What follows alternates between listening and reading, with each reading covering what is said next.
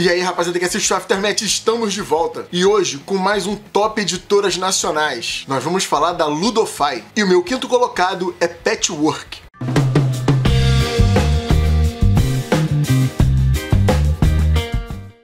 Uma relação muito engraçada com Patchwork. Eu sempre fiquei com o pé atrás com ele por ele ser um jogo dois player e bem abstrato. Até que um amigo meu tem e levou um dia pra gente jogar ele numa hamburgueria durante o um evento. Para começar, eu já achei maneiríssimo o esquema de compra das peças. Você espalhar as peças, ter aquele esquema de andando, de pagar para poder comprar. Eu achei isso bem bacana. Aí ele me explicou como é que funcionava para colocar as peças no tabu. Eu comecei a achar mais bacana ainda, mais desafiador. É bem bacana você ter as peças, otimizar a colocação delas, ocupar os espaços no tabuleiro para poder pegar os bônus que tem. Isso é bem maneiro. Quem me conhece sabe que eu costumo dizer que a gente precisa muito de jogos dois players de boa qualidade. Todo mundo que fica querendo criar jogo de 2 a 4 jogadores porque mercadologicamente é melhor, mas existe no mercado esse nicho de jogos de dois players de boa qualidade. E o Patchwork ele é perfeito para você jogar com aquele seu amigo quando vocês estão com tempo de bobeira, ah, vamos jogar aqui enquanto está esperando uma outra coisa. Como por exemplo, hoje tem jogatina jogatina, precisa chegar mais dois amigos, mas um ficou preso no trânsito, outro ainda tá no metrô. Senta ali com o teu brother que já chegou, pega um patchwork, joga ele rapidinho, é sensacional. Então se você tem grupo grande e a galera sempre chega atrasada, patchwork é obrigação na coleção. E o quarto colocado é o Celestia.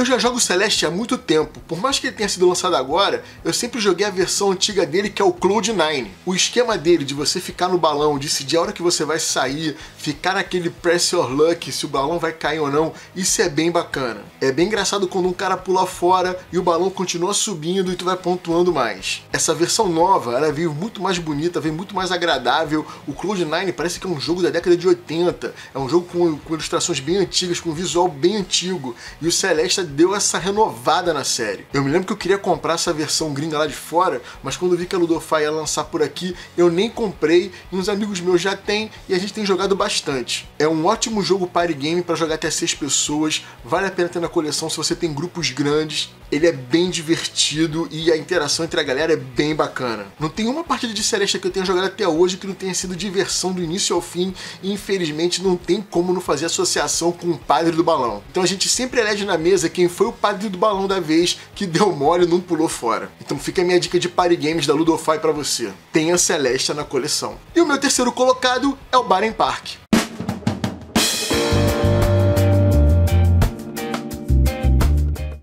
O Baren Park eu já comecei com o pé atrás porque todo mundo falava que era um patchwork melhorado. Eu já fiquei com aquele preconceito de que pegaram um jogo de dois players e botaram quatro jogadores para botar um jogo novo no mercado. Eu não acho isso maneiro. Então eu comecei a conversar com amigos que tinham jogado, comecei a ver reviews e vi que o jogo parecia bem bacana. Aí eu fui e comprei e não me arrependo nada disso. É muita sacanagem falar que o Baren Park é um patchwork melhorado. Isso é mentira. A forma de pegar as peças é completamente diferente, a forma de evolução do tabuleiro também. Você vai colocar vários tiles maiores para poder expandir o seu parque. Não tem nada a ver com patchwork. Se alguém falou isso para você, meu amigo, esquece, vá ver uma partida de Baren Park, veja review, tem review dele aqui no canal, joga uma partida, compare ele com Patchwork, não é só porque tem tiles com formato diferente e você precisa colocar ele num tablô que é igual, são coisas completamente diferentes, cara. E eu vejo que muita gente não entrou nessa do Baren Park por achar que ele era um patchwork melhorado. Isso é mó caô, cara. É muito bacana o lance de você fazer ampliação do parque, onde parte do tile fica num pedaço do parque, a parte do outro tile fica no outro, e você vai juntando, vai encaixando. Isso é bem desafiador. Os objetivos extras para você poder ganhar pontuação de acordo com o set collection que você faz de um tipo de urso ou de um tipo de peça, isso é bem maneiro. Toda partida de Barin Park sempre é bem disputada, sempre é apertadinho ali, é um querendo pegar o tile antes do outro, pegar um tile que vai beneficiar beneficiar um amiguinho para poder dar uma sacaneada e o cara não poder pegar. Isso é bem legal. O esquema de compras também é completamente diferente do patchwork, então não entra nessa de que um é igual ao outro, porque não é. É uma outra experiência, por isso que eu recomendo fortemente você ter Baren Park na coleção. E o meu segundo colocado, Caverna.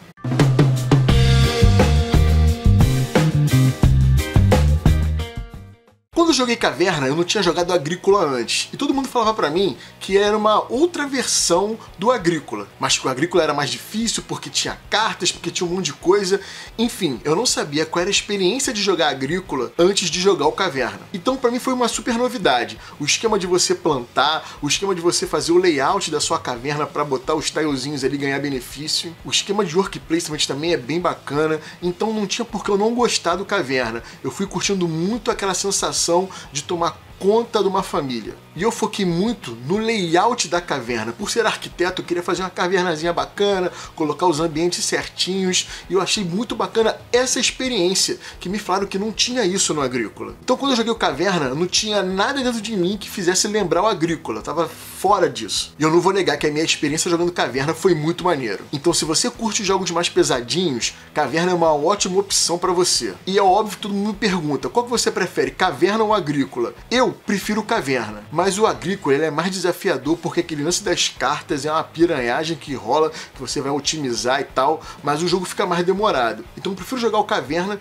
que ele é um pouco mais rápido e eu gosto mais desse lance do layout da caverna, de montar a caverna, eu acho mais bacana do que jogar o Agrícola fazendo a montagem ali do pasto. O lance de você botar um burro dentro da caverna é bem engraçado. Então pra galera hardcore que gosta de jogo pesado, Caverna é obrigação na coleção. Qual é o meu top 1? Qual é o meu queridão da Ludofy? Quem acompanha o canal, quem acompanha o Instagram já sabe, é o Viticulture.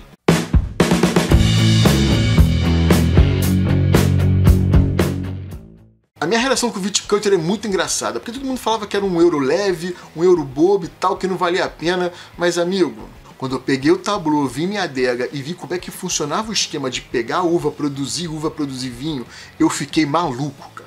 Eu já recomendo você jogar logo com as versões avançadas para colocar um mamas e papas, para fazer o setup diferente.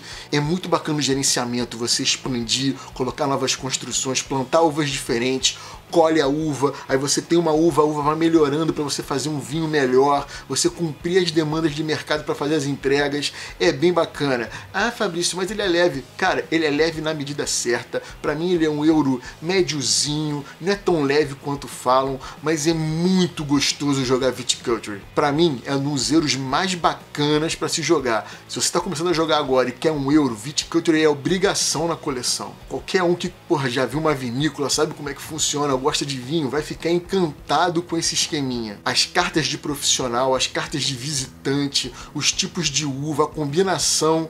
Cara, eu só tenho elogios pro Viticulture. É um jogo que se eu puder jogar, eu vou jogar sempre. Cabe seis jogadores, é, é enfim para mim é perfeito para você pegar aqueles seus amigos que já jogam com você, mas estão jogando jogos mais levezinhos, mais party games, e você quer mostrar um jogo mais pesadinho para eles. O Viticulture é a opção. As regras são simples, não tem como a galera não gostar e entrar no mundinho. Então Viticulture é o meu preferido da Ludofy e recomendo fortemente você ter na coleção para pegar aqueles seus amigos e começar a entrar nesse mundinho de euro. Bem, rapaziada, para quem acompanha o canal e acompanha o Top Editoras, sabe que sempre tem uma ação promocional no final do vídeo. Porém, a Ludofy não mandou nada pra gente, não mandou jogo para review, não mandou jogo para ação promocional, então não vai ter aquele esquema de quando chegar a mil views e 150 curtidas, fazer uma ação promocional com o jogo da Ludofy. Mas a gente não pode desanimar, então se você compartilhar esse vídeo com seus amigos, aumentar o número de views, curtir, ajudar na divulgação, quem sabe a Ludofy não vê o vídeo, não manda uma paradinha pra gente e assim que chegar, eu anuncio no canal que vai ter ação promocional da Ludofy também. Então, meus queridos, divulga o vídeo, vamos fazer ele bombar, chegar a mil views, vamos fazer esse vídeo chegar lá na Ludofy e eles falam assim, porra, vamos dar uma moral pro Aftermath, vamos mandar as coisinhas pro Fabrício para ele poder fazer review e para ele poder fazer ação promocional. Então curte a página do Aftermath no Facebook para ficar por dentro de que estiver rolando, assina o canal aqui no YouTube, assina o canal do Ludopedia, ou seja, todas as mídias sociais do Aftermath para você saber se alguma coisa mudou com relação a isso. E então, rapaziada, a gente vai ficando por aqui. Se inscreve no canal, um forte abraço e valeu!